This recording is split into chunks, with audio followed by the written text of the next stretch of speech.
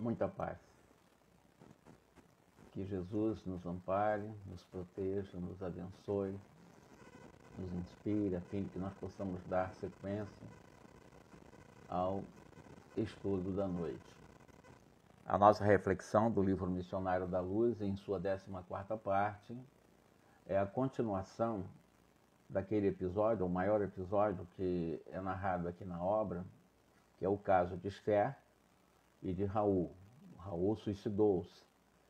E o Alexandre, ele conseguiu identificar o fato do suicídio, mas ele, é, de alguma forma, não sabia dos detalhes, né? Os, o porquê do suicídio de Raul. Então, ele precisava saber exatamente, primeiro, saber onde é que estava Raul, porque ele ficou sabendo que Raul suicidou-se exatamente por aquele visitador, que é aqueles espíritos que vão, frequentam e visitam para poder dar exatamente um apoio espiritual, magnético para as famílias. Então, nesse momento em que ele ficou sabendo de todos esses detalhes, ele vai buscar o paradeiro do Raul. Onde é que ele está agora? Já que sabemos que ele suicidou. Vamos buscá-lo para poder conversar com ele, para saber exatamente as razões e ver quais as providências que o Alexandre poderia adotar. E ele começa, como nós dissemos, dando sequência a esse episódio. André, não obstante conservar-se em prece, observou que Alexandre entrava em profundo silêncio, em um processo meditativo a fim de poder identificar o local onde poderia estar o Raul, o suicida, onde poderia encontrar, tentar se aproximar dele, ver o que, que poderia ser feito. Daí, alguns minutos, Alexandre exclamou, como quem estivesse voltando de surpreendente excursão. Aí seguiram adiante.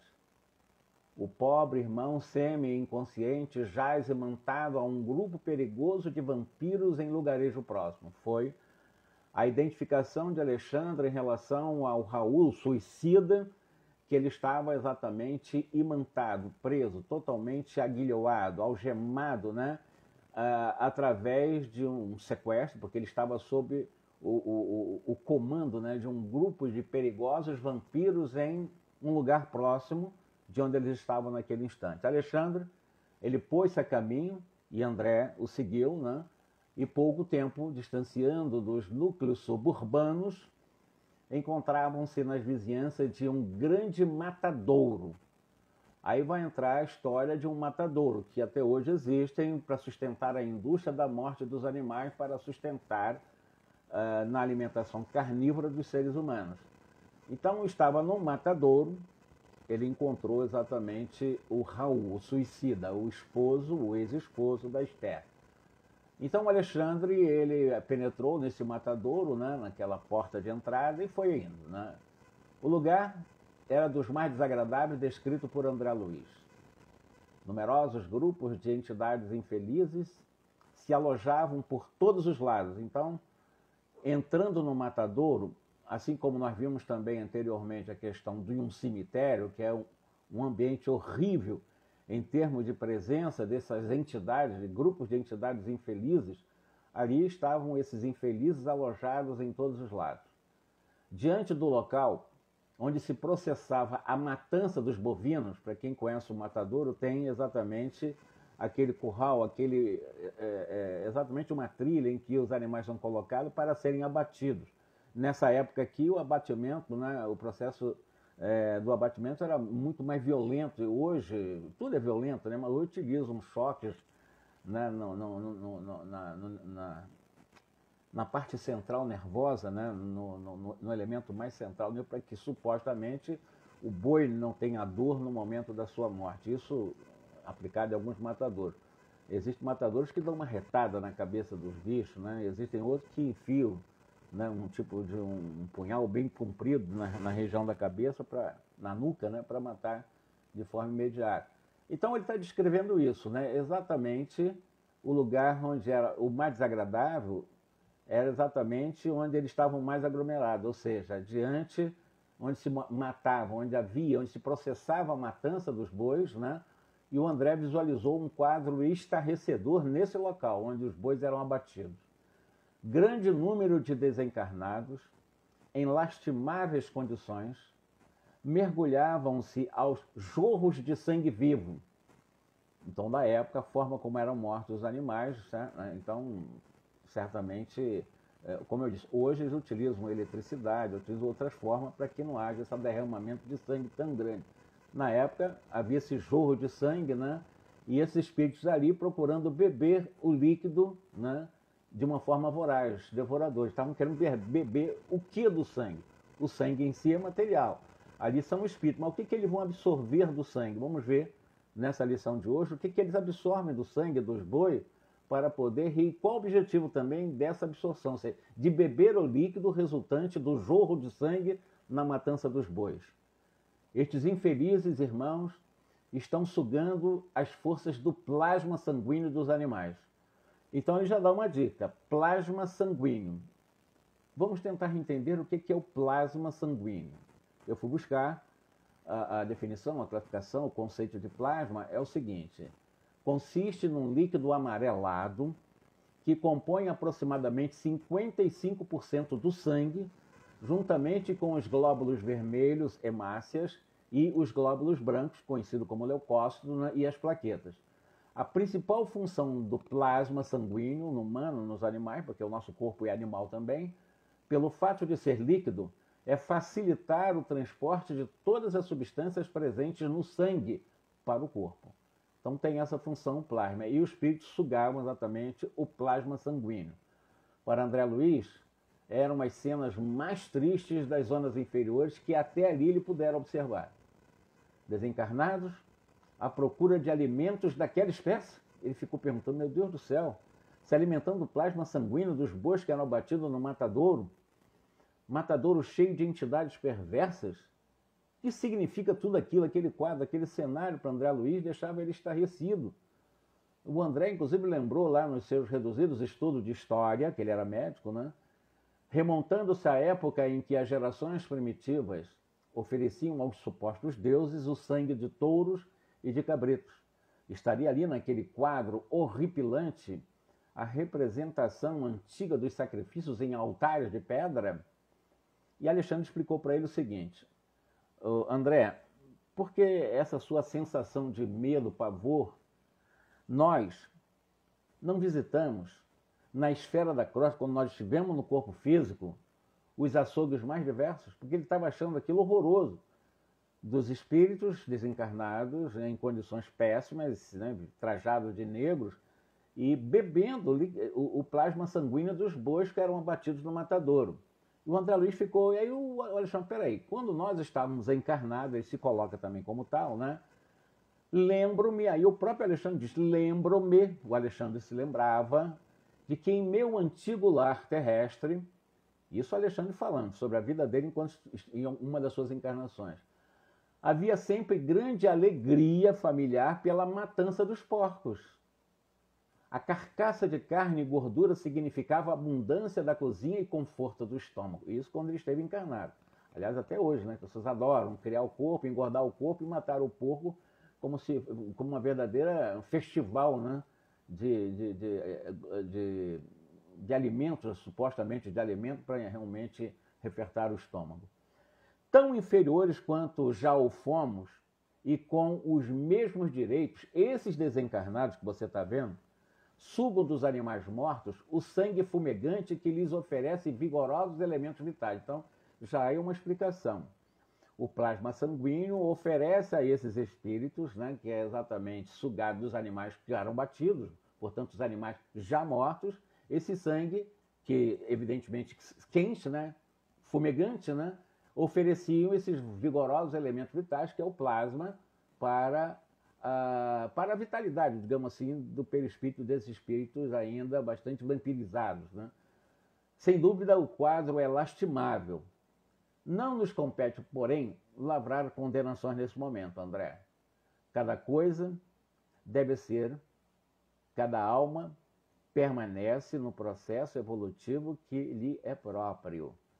Se nós já passamos por, pelas situações inferiores, compreendendo como é difícil a melhoria no plano de elevação, devemos auxiliar sempre movimentando as melhores possibilidades ao nosso alcance a serviço do próximo. O André Luiz achou aquela advertência muito útil para ele.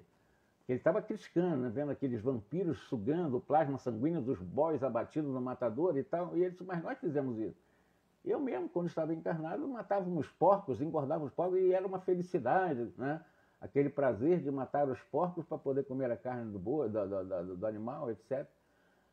E as, as palavras de Alexandre, segundo André Luiz, caíram na alma de André a preceito de retificação né, das atitudes mentais dele. André, o André Luiz, encarou sereno o quadro sob seus olhos e, notando que se reequilibrara diante daqueles espíritos sugando o sangue dos bois, Alexandre mostrou-lhe uma entidade de aspecto lamentável, semelhante a um fantoche a vaguear em torno dos demais. Então é como se fosse um zumbi, né?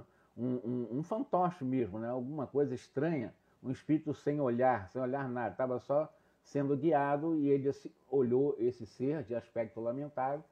Depois de fixar-lhes os olhos quase sem expressão, André reparou que a sua vestimenta permanecia ensanguentada. Era Raul. E o Raul estava indo com as suas roupas, perispiritualmente falando, né, totalmente ensanguentada. É o Raul que procuramos, exclamou Alexandre. Que? Disse o André Luiz. Por que precisariam deles os vampiros? Então, por que, que os vampiros estão segurando ele aqui no matador? Ele é um suicida, suicidou no meio da rua. De repente, sequestraram ele no meio da rua e, nesse instante, ele está preso exatamente nesse grupo de sequestradores levar, e levá-lo para o matadouro numa zona suburbana lá de onde eles estão. Os infelizes, elucidou Alexandre, abusam de recém-desencarnados sem qualquer defesa, como este pobre Raul, nos primeiros dias que sucedem à morte física, subtraindo-lhes as forças vitais, depois de lhes explorarem o corpo grosseiro. Então, o que, que eles estão fazendo? Depois que os espíritos inferiores, porque o Raul estava obsidiado, totalmente perturbado espiritualmente.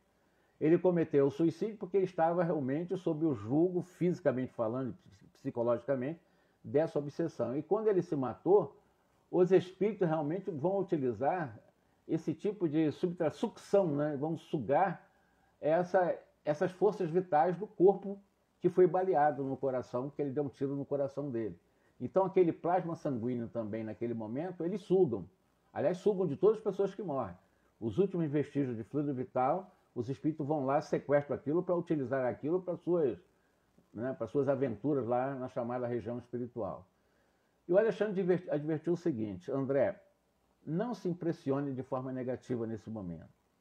Todo homem encarnado ou desencarnado que se desvie da estrada reta do bem pode vir a ser um perigoso gênio do mal. Se qualquer desses seres humanos que nós estamos achando verdadeiramente de expressão diabólica e agindo tais quais diabos, como assim como o próprio demônio, vorazmente bebendo sangue dos animais, tanto quanto sugar as energias vitais do jorro do sangue de um tiro no coração do próprio Aú. É, mas ele diz qualquer pessoa, qualquer espírito, né, qualquer encarnado ou desencarnado que se desvie da rota ou se torne insubmisso a lei da consciência pode vir a ser um perigoso gênio do mal, um líder do mal, qualquer um de nós. É só nos desviarmos do bem, podemos ser líderes dos, do, do, do, dos espíritos inferiores. Não temos tempo a perder agora, vamos agir socorrendo o Raul. Seguindo Alexandre, aproximaram-se depois do Raul.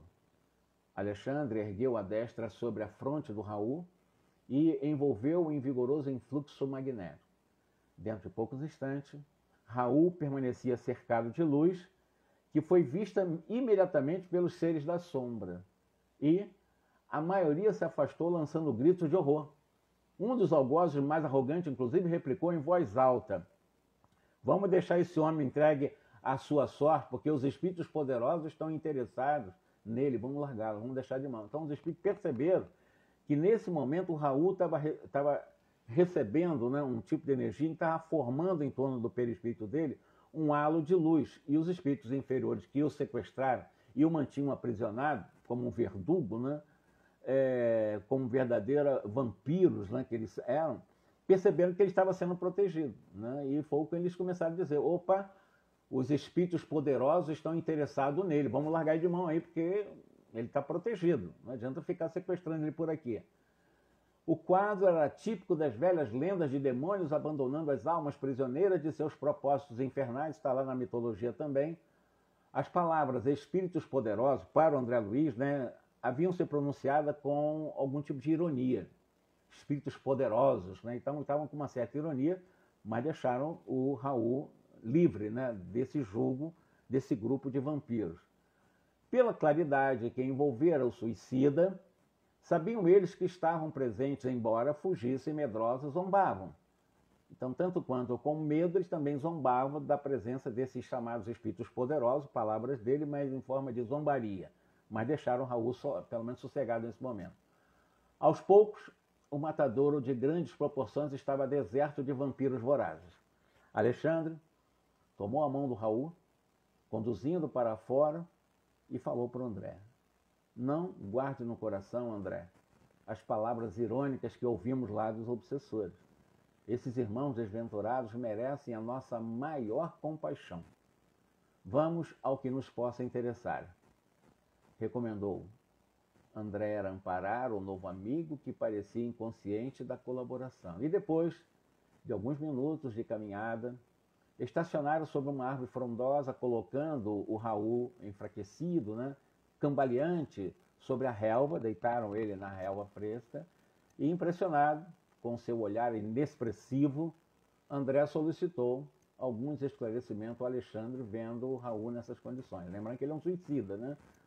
O pobrezinho permanece temporariamente desmemorizado, disse exatamente o é, desmemoriado, né? sem memória, para o André Luiz. Foi explicado para o André Luiz. O estado dele depois de tão prolongada sucção de energias vitais, ou seja, os espíritos sugaram todas as energias vitais, porque ele também antecipou a morte dele, é de lamentável inconsciência. E Alexandre acrescentou: Que deseja você, André?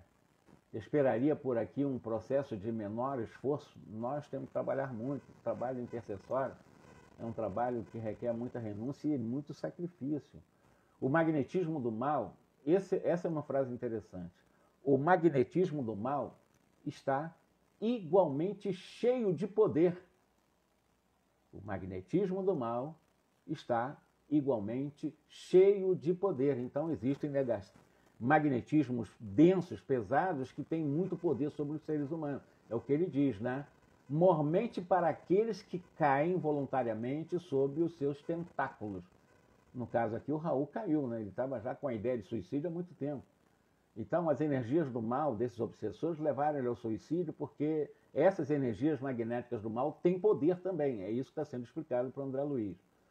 Alexandre inclinou-se paternalmente sobre o desventurado suicida e indagou: Irmão Raul, como passa? Murmurou infeliz, como se estivesse mergulhado em profundo sono.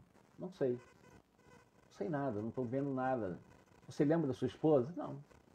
Respondeu o suicida de modo vago. Alexandre levantou-se e disse para o André: a inconsciência dele é total. Precisamos despertá-lo. Então ele está totalmente inconsciente. Não tem nem como nós conversarmos com ele agora.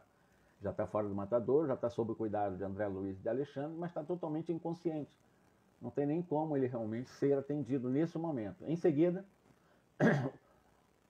determinou, Alexandre determinou que André permanecesse ali, tomando canto do corpo dele, né, em vigilância, enquanto ele buscaria alguns recursos. O André interrogou se não poderiam acordá-lo por nós mesmos. Será que nós não temos condições de acordá-lo? Porque ele botava muita fé na força de Alexandre. Alexandre é muito poderoso mesmo. Então, será que você não tem condições de acordá-lo nesse momento?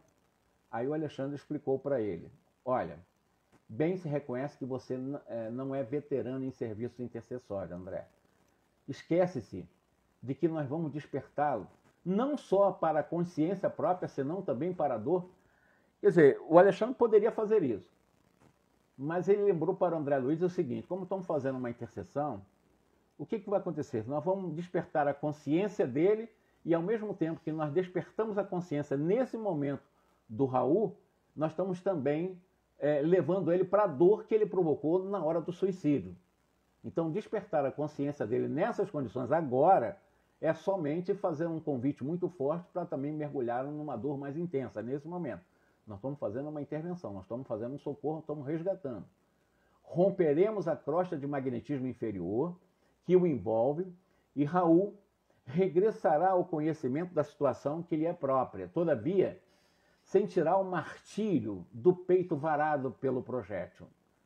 É um outro detalhe explicado por André Luiz, que a pessoa, quando opta pela antecipação da morte, pelo, pelo suicídio ou pelo autocídio, né? a forma que ela escolhe para cometer o suicídio vai repercutir durante longos anos, não é do dia para a noite. Mesmo esse, Raul, recebendo todo um processo de uma intervenção direta de um Alexandre, né? É explicado que ele vai sentir exatamente o martírio, a dor, o pavor de o peito ter sido varado pelo projeto que ele jogou, né, que ele, ele próprio optou em matar dando um tiro no coração. Então ele rugirá de angústia ao contato da sobrevivência dolorosa criada, aliás, por ele mesmo. Então vai ser intensa a dor dele. Se nós acordarmos ele dessa inconsciência, que ele está totalmente consciente. Quando nós acordarmos, ele vai ter essa consciência de que ele se matou e de que aquela pancada, aquela que, que abala o projeto realmente provocou no peito dele, estourando o coração dele, vai sentir uma profunda angústia, né? E aí, evidentemente, ele vai sentir esse martírio do peito varado por, esse projeto. Rugerá de angústia ao contato da sobrevivência dolorosa, ele vai ver que não matou, ele matou um corpo, mas não mata a vida. Ninguém consegue matar a vida, porque a vida é para sempre, a vida é eterna. O suicida mata um corpo, mas não mata a vida, né? Ora, em tais casos, as primeiras impressões são francamente terríveis e escoam-se algumas horas antes de seguro alívio. E como outras obrigações o esperavam por nós, será conveniente entregá-lo aos cuidados de outros amigos. Então, Alexandre, não temos outras coisas para fazer, vamos entregar nesse momento para alguns amigos. Decorrido 20 minutos aproximadamente, depois do resgate, Alexandre voltou acompanhado de dois irmãos que se prontificaram a conduzir Raul. E daí, há algum tempo, encontravam numa casa espiritual de socorro urgente, localizada na própria esfera da crosta, ou seja, no plano físico. A organização atendia trabalhos de emergência, porquanto o material de assistência era francamente rudimentar. Então, todo o trabalho de emergência para espíritos suicidas e outros tipos de sofrimentos maiores, existem pontos, algumas casas, né, podemos chamar espíritas, que atendem, fazem essas emergências, né, e normalmente são com um tipo de material assistencial bastante rudimentar. Alexandre explicou, no círculo de vibrações antagônicas dos habitantes da Terra, não se pode localizar uma instituição completa de auxílio. O trabalho de socorro, desse modo, há de sofrer incontestável deficiência. Esta casa, porém, é um hospital volante, que conta com a abnegação de muitos companheiros Colocado Raul num leito alvo, o Alexandre começou a aplicar-lhe espaços magnéticos sobre a região cerebral. Não se passou muito tempo e Raul lançou um grito estertórico e vibrante. Eu estou morrendo, eu morro, eu morro, eu estou morrendo. Aqueles gritos né, estertóricos, gritando, sentindo a presença da morte. Então Raul gritava em suprema aflição, tentando agora escalar as paredes. Então ficou apavorado aí, aí a presença dessa agoniante dor estava despertando para a consciência, e o Raul começou a acudo, me ajude, por favor, por caridade. E comprimindo o peito com as mãos, exclamava em tom doloroso: Meu coração está partido, ajude-me, eu não quero morrer.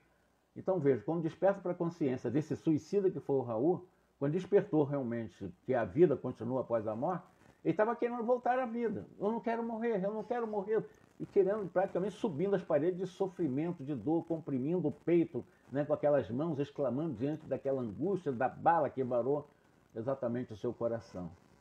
Enfermeiros solícitos amparavam-no com atenção, mas Raul parecia tomado de muito sofrimento e de horror. Olhos desnorteados, em máscara de sofrimento indefinível, Raul continuava gritando estertoricamente como se houvesse acordado de um pesadelo angustioso.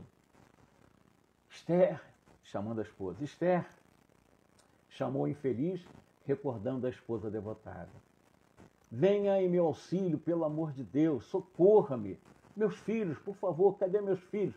E Alexandre acercou-se do Raul nesse momento, de forma paternal, e disse: Raul, tenha paciência, tenha fé no divino poder. Procure enfrentar corajosamente a situação difícil que você mesmo criou. E não invoque o nome da companheira da sua esposa dedicada, nem chame pelos filhos amados que deixou no mundo, porque a porta material de sua casa se fechou com seus olhos. Você já não faz mais parte do mundo material.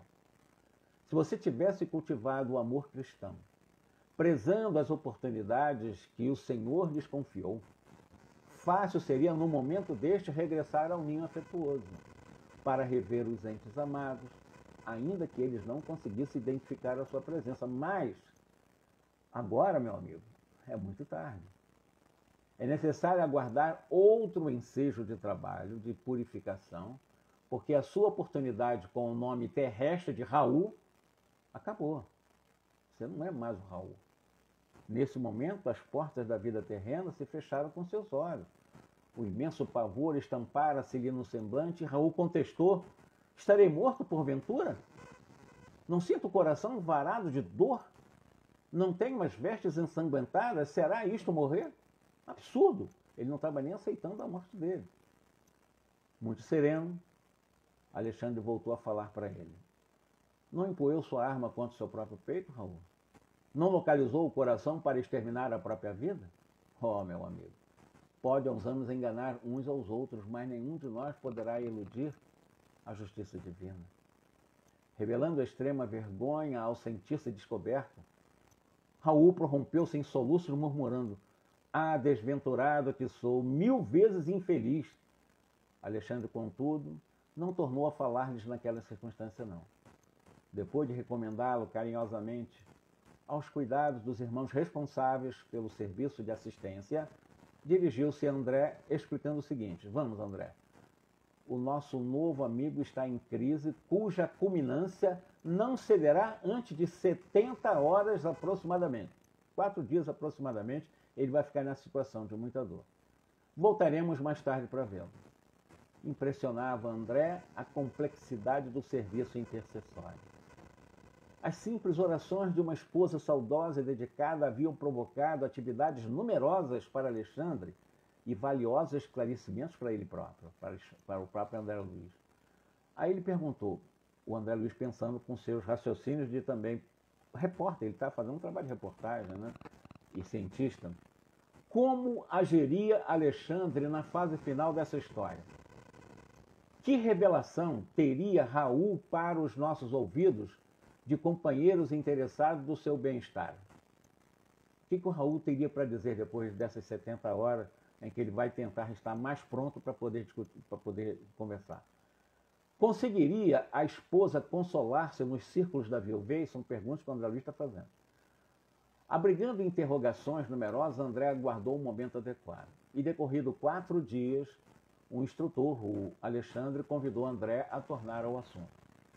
Aí, nesse momento, eles encontraram Raul cheio de dores. Todavia, mais sossegado, para aguentar uma conversação mais esclarecedora. Raul queixava-se da ferida aberta no coração, descontrolado, dos sofrimentos agudos reclamava também, queixava-se do grande abatimento. Sabia, porém, que não se encontrava mais no círculo da carne. Então, quatro dias depois, ele teve noção que já não fazia mais parte entre os encarnados. Embora semelhante verdade lhe custasse um angustioso pranto naquele momento. Tranquilize-se, disse o Alexandre, com inexprimível bondade. A sua situação é difícil, mas poderia ser muito pior, Raul. Há suicidas que permanecem agarrados aos despojos cadavéricos por tempo indeterminado, assistindo à decomposição orgânica e sentindo o ataque dos vermes vorazes.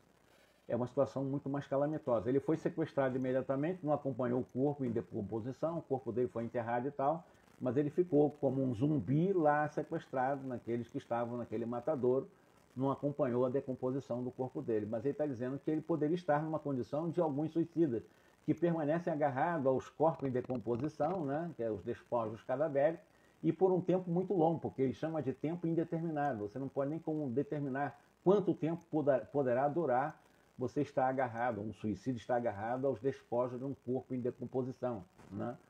E evidentemente não deve ser uma coisa extrema, deve ser uma coisa extremamente é, angustiante um espírito que e hoje está acontecendo demais, infelizmente, na Terra. Pessoas que optam para não enfrentar exatamente os desafios da vida e optam por morrer, antecipar a morte, nessas condições de ter que estar assistindo a decomposição orgânica, né? sentindo os ataques dos vermes vorazes em seus órgãos em decomposição. É uma sensação inimaginável. Né? Ai de mim, suspirou o mísero Raul, porque além de suicida, eu sou também um criminoso, eu sou um assassino, porque eu me matei. E demonstrando infinita confiança, Raul contou a sua história triste, procurando justificar o ato extremo, que ele vai contar, mas tentando buscar justificativa por que, que ele fez aquilo, por que, que ele se matou. É isso que vai acontecer agora. Nesse momento, ele vai começar a contar a história dele. Na mocidade, Raul chegara do interior para uma cidade grande, atendendo ao convite de um amigo seu de infância, um colega de infância de nome Noé. Companheiro devotado, sincero. Noé apresentaram, uma certa vez, em algum momento, apresentou a noiva dele, né? a sua noiva querida, com qual ele pretendia casar, o Noé pretendia casar, né? E, evidentemente, aí desde o momento, naquele dia em que o Raul vira a Esther, que era a noiva de Noé, o seu amigo de infância, né? Exatamente naquele primeiro olhar, naquele primeiro contato, nunca mais ele pôde esquecer Esther, coisa de obsessão. Ele ficou louco pela menina. E ela era noiva do, do colega dele de infância, que era o Noé. Mas ele ficou apaixonado por ela.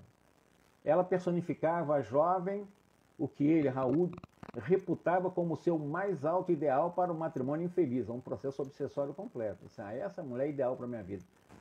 Ele era amicíssimo do Noel, Noel deu toda a força para ele, era um bom homem e de repente se, se interessou pela noiva do amigo dele. Né? Em sua presença sentia-se o mais ditoso dos homens, então ele sentia feliz diante da noiva do Noé. Seu olhar alimentava-lhe o coração, suas ideias constituíam uma continuidade dos seus próprios pensamentos como, porém, fazer para sentir afeição imensa? Então, como é que eu posso fazer para tentar me aproximar dela, já que ela é noiva do Noé? O Noé, o bom companheiro do passado, tornara-se o empecilho e ele precisava remover dessa caminhada, porque ele era o noivo daquela mulher que ele se apaixonou. Né? Esther seria incapaz de traição ou compromisso assumido com Noé. Foi então que lhe nasceu no cérebro uma tenebrosa ideia de um crime eliminaria Noé, que era o rival para ele nesse momento, era um grande amigo de infância. Mas não me conheceu a noiva do Noé, ele ficou apaixonado por ela e se tornou rival dele. Não cederia sua felicidade para ninguém, nem para o seu, seu amigo, de, colega de infância. Noé deveria morrer. Olha o que estava alimentando já, matar o Noé. Lembrando que quem levou para a grande cidade foi o Noé. Quem deu as forças iniciais abrindo o caminho para ele foi o Noé. Mas como efetuar o plano sem complicações com a justiça? Como matar alguém sem se envolver com um problema judicial? Totalmente enseguecido pela paixão violenta, passou a estudar minuciosamente a realização dos seus criminosos propósitos e encontrou uma forma sutil para a eliminação de Noé. Ele, Raul, passou a usar um conhecido e terrível veneno em pequeninas doses aumentando-a vagarosamente, até habituar o organismo com a quantidade que para outrem seria um fulminante. Então ele foi criando esse método em que ele botava um pouquinho, um pouquinho, um pouquinho, até em, em algum momento ele botou um, vários pouquinhos em que o corpo dele já se acostumou e não morreu com aquele. E esses vários pouquinhos mataria qualquer outro corpo comum. Né? Ele, Raul, passou a usar a usar conhecido e terrível veneno em pequenas doses aumentando vagarosamente até habituar o organismo com quantidades que outros seriam fulminantes, como eu disse. Atingido o padrão de resistência, convidou o Noé para um jantar e ofereceu-lhe o veneno, odioso em vinho agradável, que ele próprio bebeu, sem perigo algum. Noé, porém, morreu em poucas horas, passando por suicida ao julgamento geral. E por que, que só o dele estava? Né? Na época, evidentemente, as investigações deveriam ser bastante rudimentares. Né? Guardou Raul para sempre o segredo terrível. E depois de galantear gentilmente a Esther, a noiva generosa que era a noiva do Noé, conseguiu impor de simpatia que culminou em um casamento. Atingir a realização do que mais desejava. Esther pertencia-lhe na qualidade de mulher. Olha só o machismo, né? Questão bem patriarcal, né? Pertencia-lhe. Vieram os filhos, enfeitar-lhes a, a, a, vida doméstica, né? mas a situação da consciência fora ferida sem remissão. Ele não conseguia se perdoar. Nas mais íntimas cenas do lar, via Noé, através, através da tela mental. E o Noé sempre censurando o que ele fez com Noé. Isso vinha do subconsciente dele.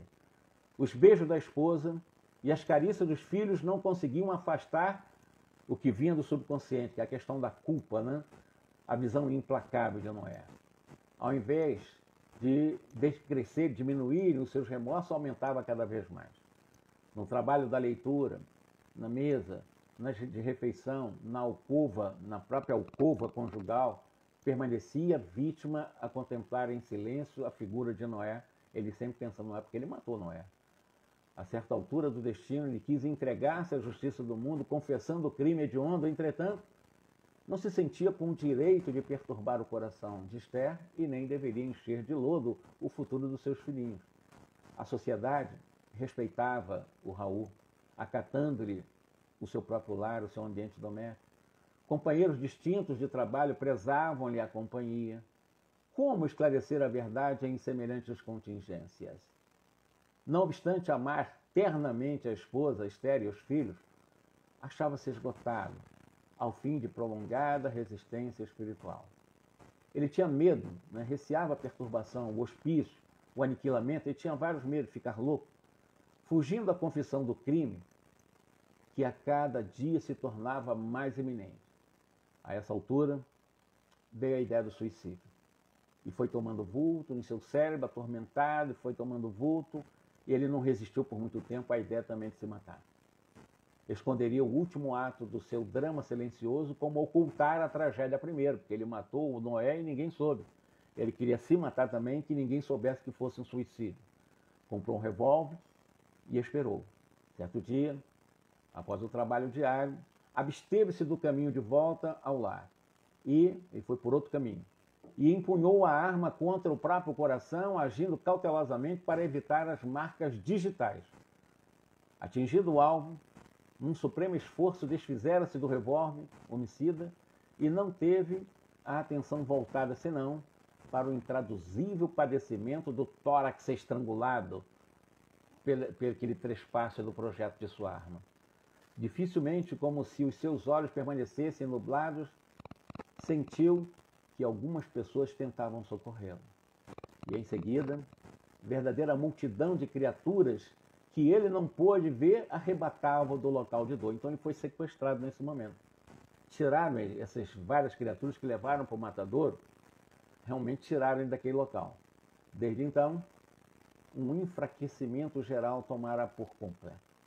Sentia-se presa de um sono pesado, de um sono angustioso, cheio de pesadelos cruéis. Por fim, e, só, e somente recuperar a consciência de si mesmo ali naquele quarto modesto, depois de Alexandre restaurar-lhe as energias em prostração. Terminando a confissão longa e muito amargorosa, Raul tinha o peito opresso. Lágrimas pesadas lhe lavavam o rosto. E Alexandre falou: Nos maiores abismos, Raul, há sempre lugar para a esperança. Não se deixe dominar pela ideia de impossibilidades. Pense na renovação de sua oportunidade. Medite na grandeza de Deus. Transforme o remorso em propósito de regeneração. E após ligeira pausa, enquanto o infeliz se debulhava em pranto, Alexandre prosseguiu. Em verdade, os seus males de agora não podem desaparecer milagrosamente. Todos faremos a colheita compatível com a semeadura. Mas também nós que hoje aprendemos alguma coisa já passamos vezes inúmeras pela lição de recomeçar. Tenha calma, Raul. Tenha coragem. Em seguida, Alexandre passou a aplicá-lo e explicá-lo relativamente à causa de nosso interesse. Por que, que Alexandre estava ali? e foi explicando para o Raul que o trabalho de auxílio fraterno fora iniciado através das orações de Esther, sua esposa, né? Deu-lhe notícia dela, dos filhinhos, dos velhos tios, falou-lhes das saudades de Esther e sua ansiedade para vê-lo, ainda que fosse em ligeiro minuto em ocasião de sono do veículo físico. E ouvindo as derradeiras informações, Raul pareceu reanimar-se vivamente e observou: Ah, não sou digno. A minha miséria acentuar-lhe-ia as dores ainda mais. Alexandre, porém, prometeu intervir e solucionar o problema. E Alexandre ponderou: No pequeno drama em observação, André, você pode calcular a extensão e complexidade de nossas tarefas nos serviços intercessórios. Os nossos companheiros encarnados pedem-nos, por vezes, determinados trabalhos muito distantes do conhecimento das verdadeiras situações. Foi o caso de Esther, ela queria saber. Primeiro que eu quero saber se ele foi morto, foi assassinado ou se foi suicídio. Era uma coisa que angustiava ela, né? E, isso, e, e, e o Alexandre está indo atrás exatamente para dar essa informação, ou se vai dar ou não vai dar. Vamos ver como é que vai fazer isso. Para a sociedade humana, Raul é uma vítima de pistoleiros ocultos, quando na realidade é apenas vítima de si mesmo. Para a companheira, é o marido ideal, quando foi assassinado, mas na realidade é um suicida. André compreendeu as dificuldades morais em que nos achavam para, para atender a petição que nos conduzira a semelhante serviço, ou seja, Será que eles vão dizer que realmente o marido suicidou? Porque ela queria saber se era suicídio ou se era assassinato. O que, que eles vão dizer? Não foi assassinado, ele, foi, ele se matou. E como é que eles vão dizer isso? E vão dizer? Então, diante desse dilema, André perguntou: Acredita esteja a irmã Esté preparada para o realismo de nossas conclusões? Ou seja, será que ela está preparada para saber que ele suicidou também? Porque seria o segundo suicídio, supostamente, porque não é um suicidor. O Noel foi assassinado pelo próprio Raul. Alexandre abanou a cabeça assim negativamente e redarguiu. Somente são dignos da verdade plena os que se encontram plenamente libertos das paixões. Esther é profundamente bondosa, mas ainda não alcançou o próprio domínio. Não possui as emoções, antes é possuída pelas emoções. Em vista disso, de modo algum lhe poderíamos dar o conhecimento completo do assunto. Eu não posso dizer que ele realmente foi um suicida e que esses detalhes todos não podemos dar para ela, não devemos dar para ela. Para que, que? Pra informar isso para ela para quê? É o que o Alexandre está Para que, que nós vamos dar esses detalhes todos? Que Noé foi morto por ele. Que... É mais angústia para ela. E ela foi atendida porque ela é um coração, embora movida e dominada pela emoção, mas ela é uma pessoa boa, ela é uma pessoa, desregrada, ela é uma pessoa desregrada. Então não seria justo você contar esses detalhes todos para ela. É isso que o Alexandre está explicando para o André Luiz. Em vista disso, de modo algum lhe poderíamos dar o conhecimento completo desse assunto. Está preparada para a consolação, não para a verdade. Olha que frase interessante. Ela está preparada para a consolação, não para a verdade. As afirmativas de Alexandre chocaram André de certo modo. Maneira omitir pormenores da tragédia? André ficou, por que, a gente vai omitir já que isso foi, ocorreu? Ela não tem que saber disso? Não seria faltar a verdade, diz o André Luiz para o Alexandre. Por que processo confortar a esposa saudosa, ocultando-lhe o sentido do verdadeiro dos acontecimentos? A André Luiz ainda espicaçado, em dúvida em relação, tem que falar a verdade. Alexandre disse para ele o seguinte: Com que direito perturbaríamos o coração de uma pobre viúva na crosta terrestre a pretexto de não sermos verdadeiros, André? Por que motivo tisnar a esperança tranquila de três crianças adoráveis envenenando-lhes talvez o destino, tão só para nos exibirmos como campeões da realidade? André, meu irmão, a vida pede muito discernimento. Cada palavra tem a sua ocasião, como cada revelação tem o seu tempo. Não podemos compreender um serviço de socorro com o esmagamento do suplicante de forma nenhuma. A oração de Esther não lhe poderia ser portadora de desalento. Ela orou para se consolar. De repente ela ora para receber um esmagamento dessas verdades tão violentas na sua família, com três crianças, além de cuidar dos, três, dos dois tios e também está desempregada. Por isso mesmo, nem todos recebem, quando querem, a delegação de mais alto para serviço de assistência. Ou seja, se fosse um André Luiz no momento for falar a verdade, estragaria todo o processo assistencial. Por isso que o Alexandre disse, nem todos recebem, quando querem, a delegação de mais alto para serviço de assistência desse tipo. Não é para qualquer um.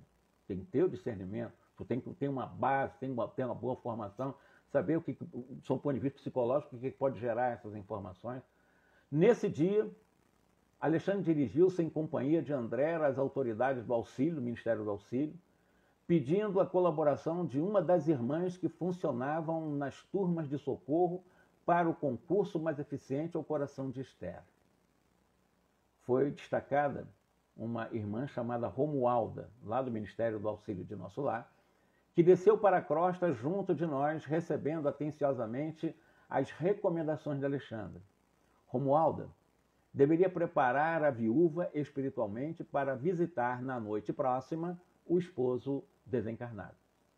Em seguida, permanecer-se junto dela duas semanas, colaborando no reerguimento de suas energias psíquicas para que se lhes reorganizasse a vida econômica através de colocação honesta e digna. Então, ajudar, seu ponto de vista psicológico, para que ela pudesse também se reorganizar fisicamente. Ela estava viúva, desempregada, como é que ela vai manter os três filhos, mais os tios, etc., pagar os aluguéis, essas coisas todinho. Então vamos ver como é que vamos trabalhar essa ajuda. E nesse momento, para o reencontro dos cônjuges, o Alexandre cuidou pessoalmente de todas as medidas. Recomendou a Raul o melhor ânimo, insistindo para que não pronunciasse a menor expressão de queixa, para que se abstivesse de qualquer gesto que pudesse traduzir impaciência ou aflição. Em seguida, quando a, a, a Esther foi visitá-lo, né, mandou ele encobrir a chaga aberta e sanguinolenta, muito visível na região dilacerada do organismo perispiritual, para que a esposa não recebesse qualquer impressão de sofrimento. O próprio Raul, admirado pela adição de boas maneiras, atendia satisfeito e reanimado a todas as instruções de Alexandre. Daí a minutos, Romualda entrou em companhia de Esther durante o sono, né? cujo olhar deixava entrever uma angústia, uma expectação muito grande.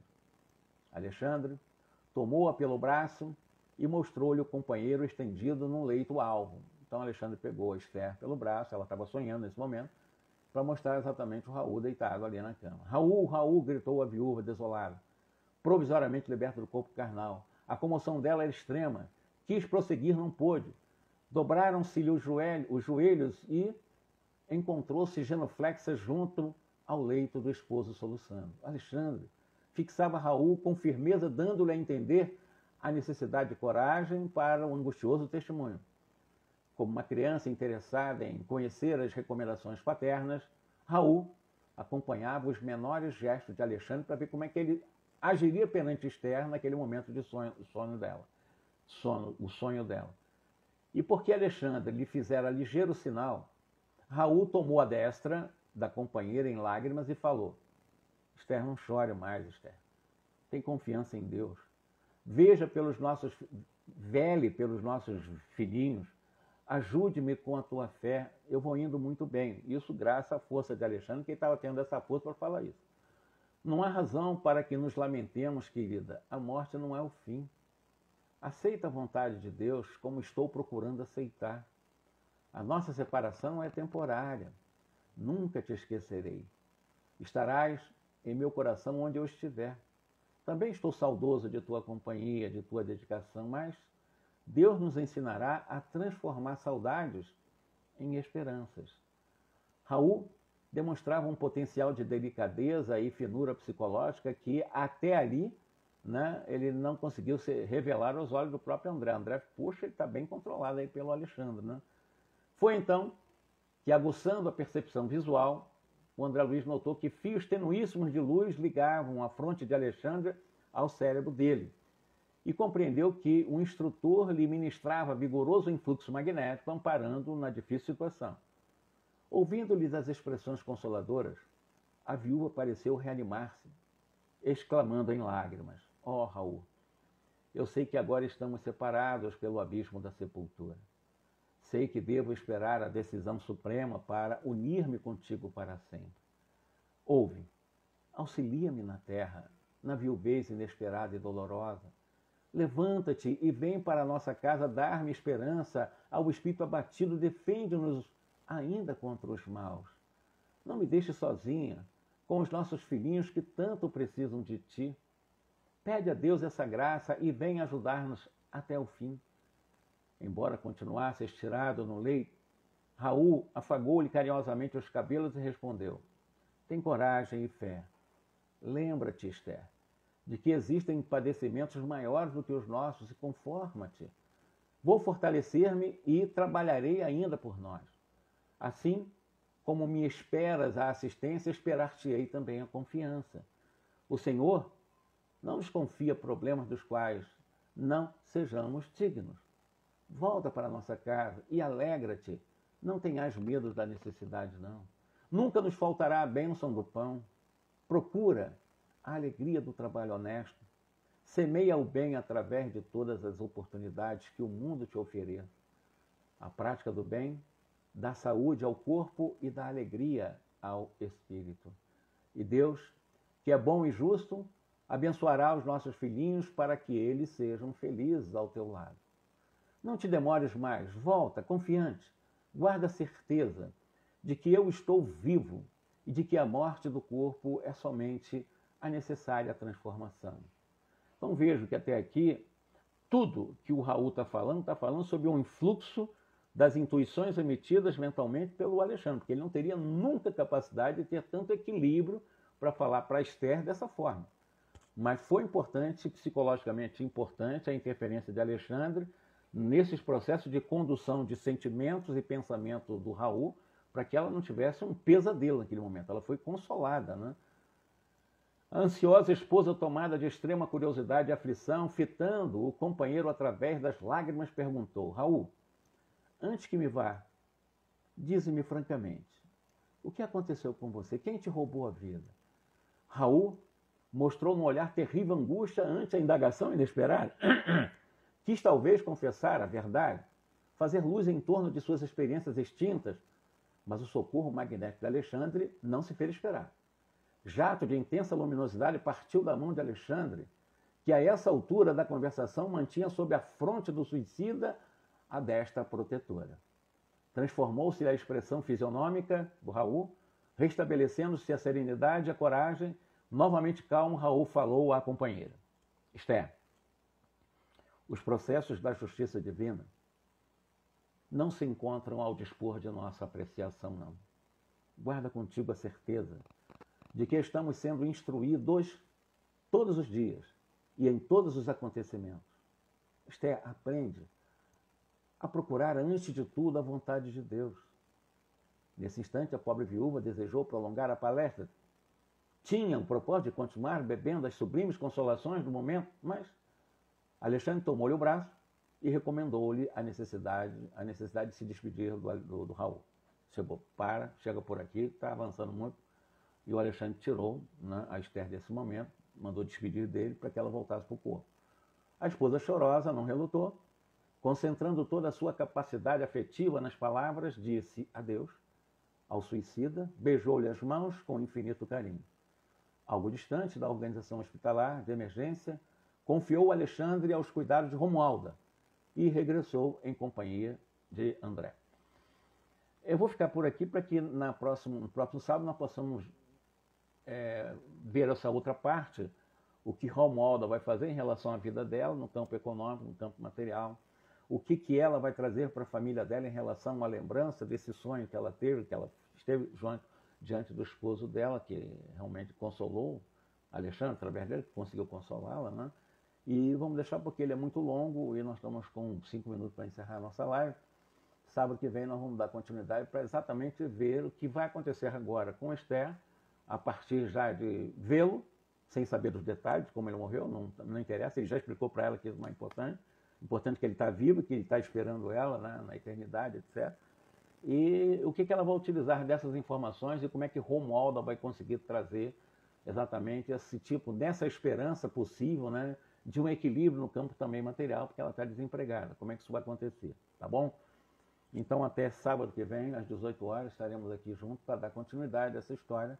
Como eu disse, é a maior história narrada, linda história, uma linda história, considerando todo o drama, toda a tragédia, mas é uma história eh, bem ilustrativa para nós. Eu digo uma linda história, é uma história trágica, cara. Eu digo uma, mas é uma história verdadeira, porque a gente vai ver é, o, o, amor, né? o amor de Alexandre, a possibilidade de alguém que suicidou, mas tendo uma capacidade de absorver a presença energética de Alexandre e não levar nenhuma angústia para a esposa, ele mostrou uma certa grandeza nesse momento.